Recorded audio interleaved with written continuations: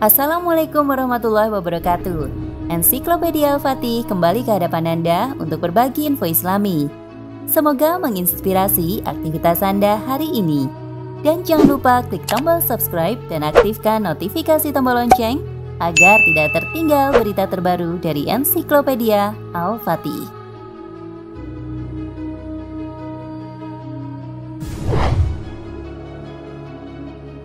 Sebuah hurufat yang tersebar di masyarakat adanya sosok jin yang bernama Umu Sibian. Keyakinan ini menyeruak di masyarakat kita melalui media-media dan ceramah-ceramah yang disampaikan oleh sebagian dai dan mubali tentang cerita hurufat yang berkaitan dengan Umu Sibian yang sangat merusak akidah masyarakat.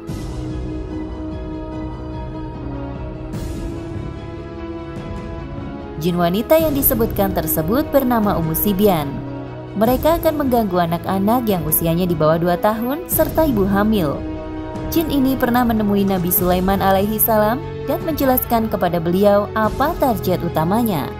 Ia datang dengan ciri-ciri yang sangat menakutkan, terlebih saat melakukan aksinya pada saat maghrib.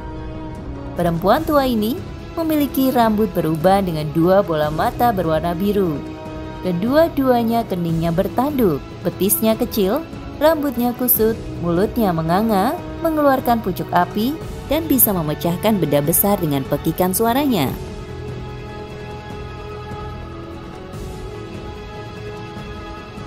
Di dalam Islam, memang kita diwajibkan meyakini adanya makhluk gaib yang bernama jin.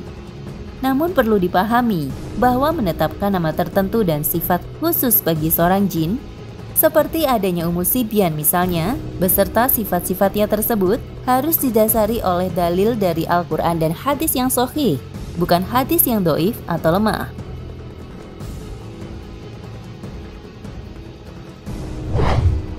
Adapun hadis Al-Hasan bin Ali yang menyebutkan umusibian, maka hadis ini diriwayatkan oleh Yahya ibnul Ala dari Marwan bin Salim, dari Talhah bin Ubaidillah dari Al-Hasan bin Ali. Ia berkata, Rasulullah Shallallahu Alaihi Wasallam bersabda, Barang siapa yang dikaruniai seorang anak, lalu ia mengazani pada telinga kanannya dan beri komat pada telinga kirinya, niscaya anak itu tidak akan dimuzorotkan atau dibahayakan oleh umusibian. Hadis riwayat Abu Ya'la.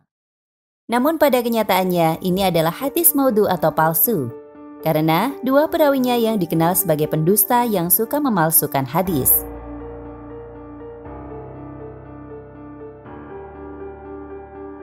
Sebuah hadis jika ia doif atau lemah, apalagi palsu, maka seorang muslim tidak boleh mengambilnya sebagai dalil dan dasar dalam menetapkan suatu urusan agama, baik dalam perkara akhlak, fikih, ibadah, dan lainnya, apalagi dalam perkara akidah dan keyakinan.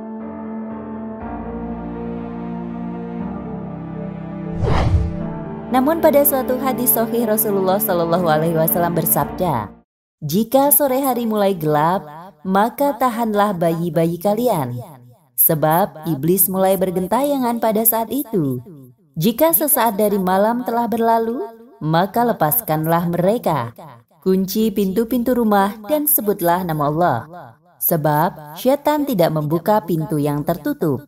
Dan tutup rapat tempat air kalian dan sebutlah nama Allah dan tutup tempat makan kalian dan sebutlah nama Allah, meskipun kalian mendapatkan sesuatu padanya. Hadis riwayat Muslim.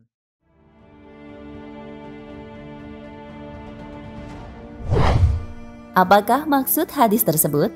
Salah satu sholat yang dilakukan saat kondisi bumi berpindah dari siang ke malam adalah sholat maghrib. Biasanya orang tua mengetahui anaknya tengah main saat harusnya orang sholat maghrib tersebut langsung menyuruh anaknya untuk masuk ke rumah. Konon, mitos larangan keluar saat maghrib ini dikarenakan banyak setan atau jin yang berkentayangan di luar sana. Namun, jika waktu maghrib telah berlalu, orang tua pun membiarkan kembali anak-anaknya untuk bermain di luar.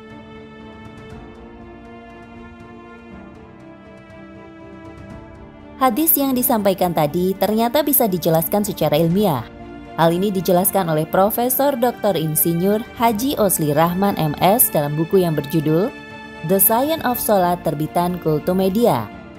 Penulis tersebut menyampaikan bahwa saat menjelang maghrib, alam akan berubah spektrum cahaya berwarna kemerahan. Cahaya tersebut merupakan gelombang elektromagnetik yang setiap warnanya memiliki perbedaan energi, frekuensi, serta panjang gelombang yang berbeda. Perubahan spektrum tersebut ternyata selaras dengan frekuensi bangsa jin dan iblis, yaitu spektrum merah. Iblis dan jin akan bertambah kuat karena memiliki gelombang yang sama dengan alam dunia. Dengan tumpang tindihnya gelombang membuat penglihatan seperti tak jelas dan terjadi fata morgana.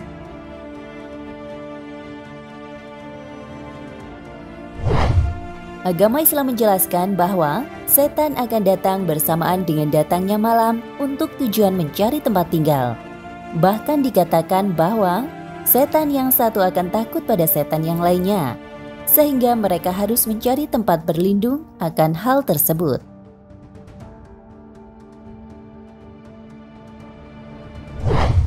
Sebagai kesimpulan bahwa keberadaan Umu Sibian dengan namanya yang khas itu beserta sifat-sifat khususnya tidak boleh kita yakini dan tetapkan. Karena tidak ada hadis yang sahih yang menjelaskan tentang semua hal itu. Bahkan semua hadis tentang Umu Sibian adalah palsu. Wallahu alam bisawab.